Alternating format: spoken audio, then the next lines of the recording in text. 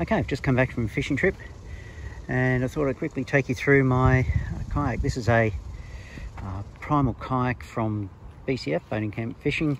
Uh, it's about 3.1 metres, so about 10 foot long. A lot of modifications to the kayak, so let's go through it. Uh, first up at the front here, a paddle keeper. I uh, just put this modification on yesterday, so easy enough just to slide the paddle under and that'll keep it nice and secure. Also a modification made this week was LED running lights fore and aft and they're just off a switch here and they came in real handy this morning. I was out pre-dawn. The lights are working well. Well, and there's first light. I'd better get to the fishing spot. Okay, let's move let's paddle out of the way. In the front, a bunch of electronics. This is a PWM for motor control. Uh, 10 gauge wire going right to the back to the motor, coming out of the battery here into the side, and I've remoted the potentiometer there and the um, forward and reverse switch into this it's actually a nine pin wire I think or eight pin and I'm using seven. Uh, two batteries. This one is used just for the fish finder. I use XT60 connectors. This is a Turnigy 5000 milliamp hour battery with an inline fuse. That's just used for the fish finder to keep everything separate and make sure there's no interference from the main battery in the motor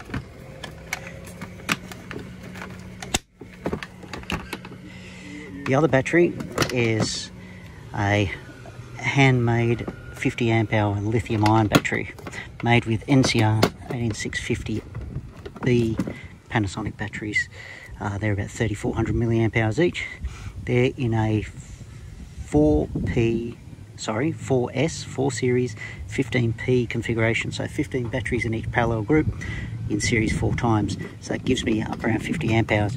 I was on this battery today. I'm not sure how many volts left, but you know, I was probably on there for a couple of hours, never at full throttle. And I bet you when I get home, I'm still at at least 50%. Do that in a minute. Okay, some deck padding, just some, I think it's three to maybe three or four mil foam from the hardware store. This is my fish finder Hook 5 Reveal on a Railblaza mount with an extension there so I can take it from the Railblaza mount at the front. Comes up between my legs into easy reach. Running Railblaza rod holders on both sides. Uh, normally run with three rods.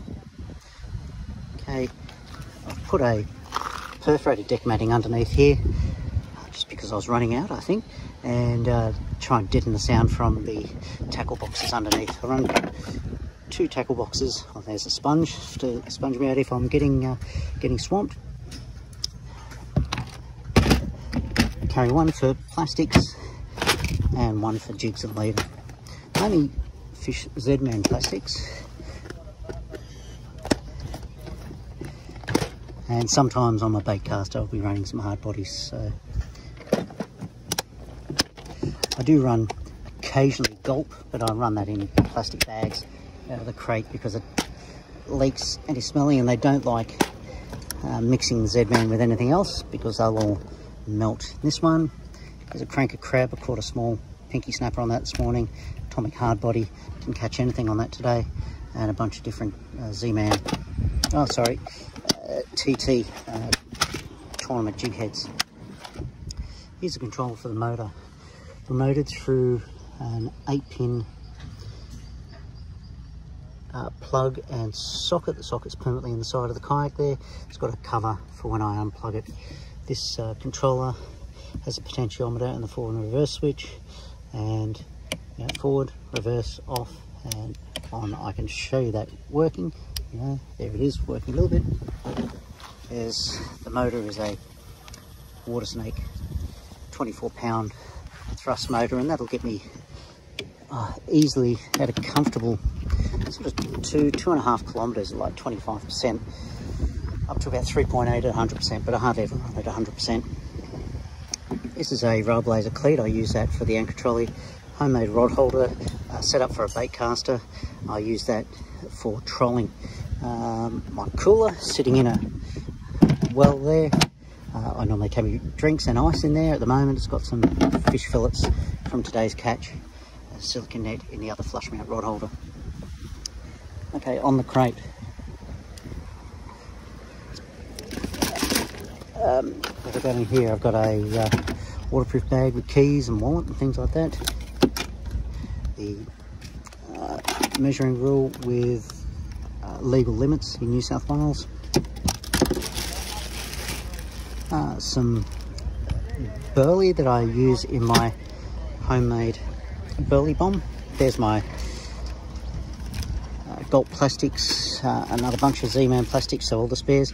And this, this is a homemade kill bag out of a windscreen, uh, car windscreen uh, shield. So it's insulated. So it's a windscreen shield cut in half, duct taped, duct together. And I need, uh, I found I needed something like that when I was out here a couple of weeks ago and hooked onto a nice big 77 centimetre, so two and a half foot long jewfish and I had to store it under the seat all the way home. So I need to kill bag for something that can't fit in the cooler. On the front of the crate, I have a holster for pliers, have a filleting knife that I also use as a kill spike and my lip grips on the other side and I'll show you those in a minute. Here's the homemade bait bomb made out of PVC pipe. The top comes off. On it is a float, a bit of paracord and a carabiner and I can put that on the anchor trolley or any other point on the kayak. Now a lot of people are running this style of uh, keeper for your anchor rope so clothesline, replace the plastic cord in there with paracord about 45 feet, I think 15 metres. And this is a Cooper anchor.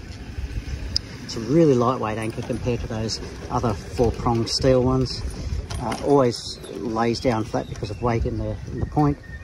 I run a cable tie there that's sacrificial, so in the case that uh, it does get stuck, you can give it a good, really good yank, break that cable tie and it'll pull up by the nose.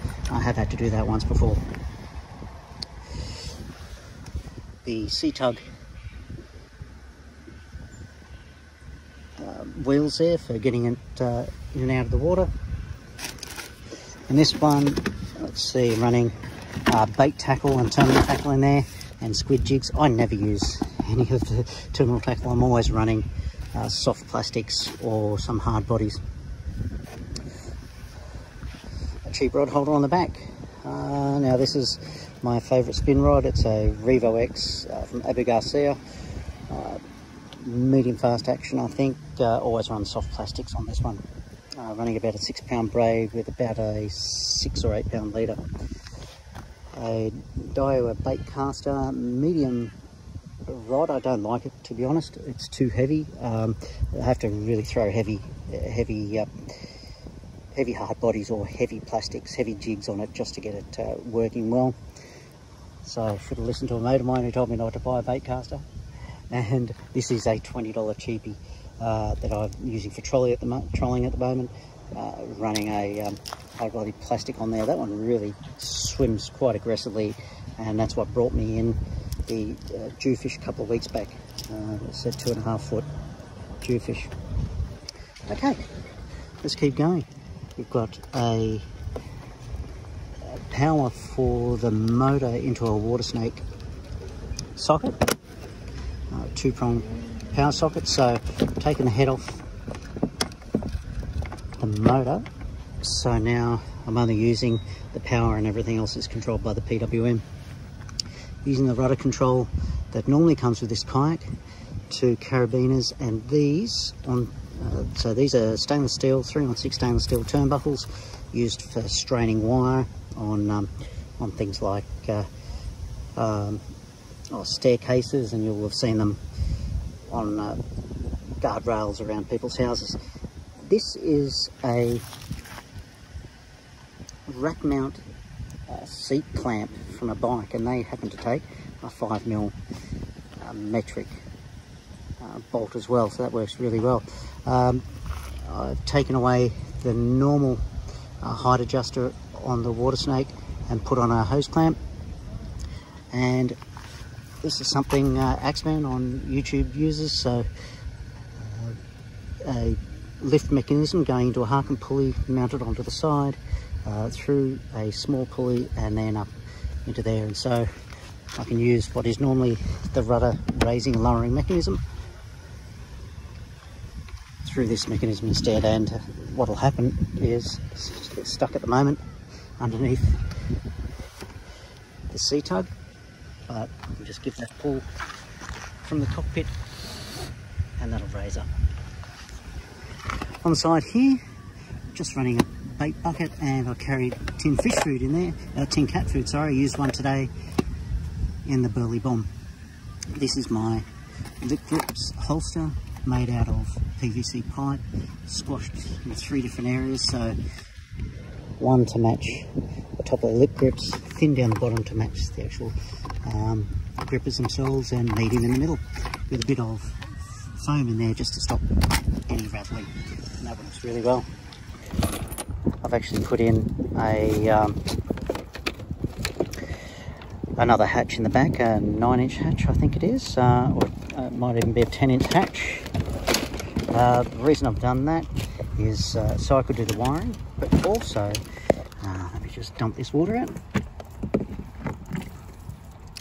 Uh, also in there, I'm carrying spares, like a spare um, propeller for the motor, uh, spare pins and things like that. So I don't need to get those except in an emergency, almost needed them today.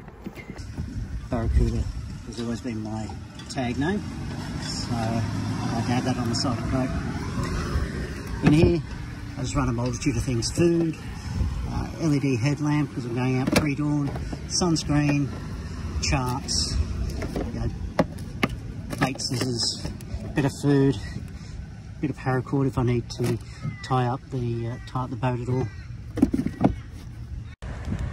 So that's the boat. I hope you liked it, and look forward to sharing some other modifications in the future.